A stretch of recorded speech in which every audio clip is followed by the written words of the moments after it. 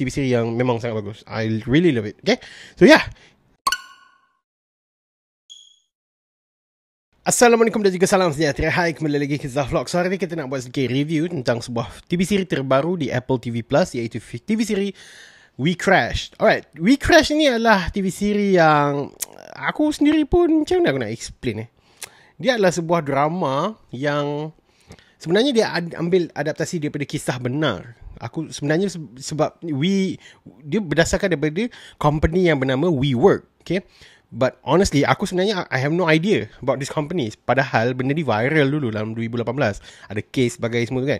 So, dia menceritakan macam mana watak uh, Adam Newman, okay, lakonan uh, Jared Leto dan juga uh, Rebecca Newman, uh, lakonan Anne Hathaway ni, uh, ber, ber macam mana kan?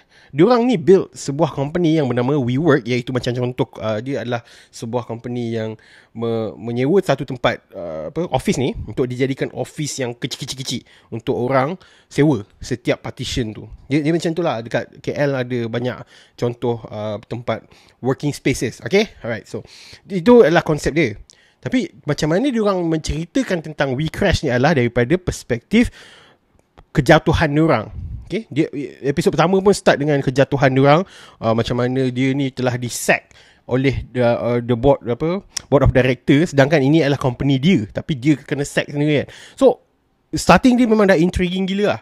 Dan after that baru dia start over macam mana dia orang ni boleh bertemu dan macam mana dia orang boleh build up this company.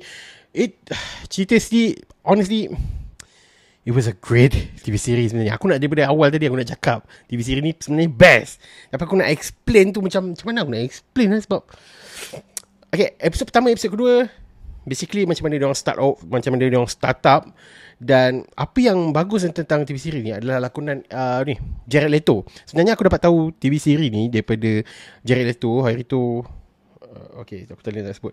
Uh, uh, Jared Leto Kan dia mobil kan nak keluar. So aku tengok lah TV series dia juga kan. Dan aku suka gila lakonan dia dalam film ni.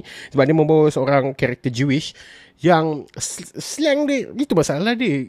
Jared Leto ni power bab slang. Dia punya accent tu boleh berubah macam tu je. Dalam TV series ni dia bawa karakter Yang macam Contoh dulu ada filem You Don't Mess With Zohan.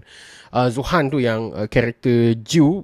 Jew eh? Dia, dia ni lah. Uh, Arabic punya part, apa, part of the world punya accent tau. Dan he nailed it. He really nailed it. Sebab karakter ni pun memang Jewish. Uh, dua-dua ni, pasangan ni memang Jewish. Cuma dia orang adalah, dia, uh, dah stay kat US semua kan.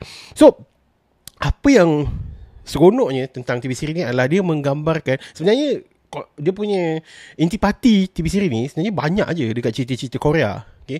tentang startup tentang macam mana dia orang build company macam mana dia orang business tu memang banyak. Tapi aku sebab aku tengok cerita ni sebab ada Jared Leto kan so aku pergi tengok. Dan I was so into it. Sebab first second episode pun dah banyak benda yang dia orang perlu hadapi dan benda yang macam mana cara dia orang thinking cara dia orang berfikir untuk build this company up.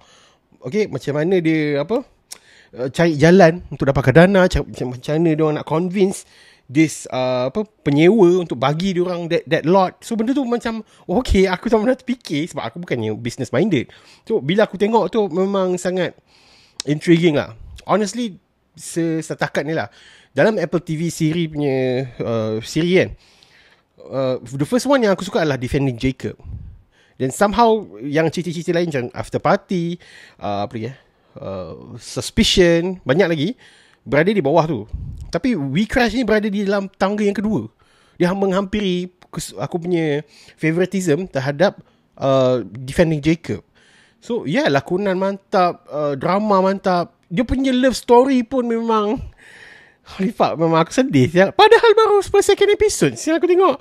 Dan kau boleh rasa That That That uh, That love feeling Okay Between those two character. So I really appreciate that.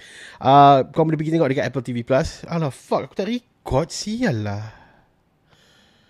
Pondek Sorry guys Aku baru perasan Aku tak record video Sial lah. Anyway Aku keluarkan dalam bentuk podcast je lah. Sound suara aku saja kan Okay Sorry.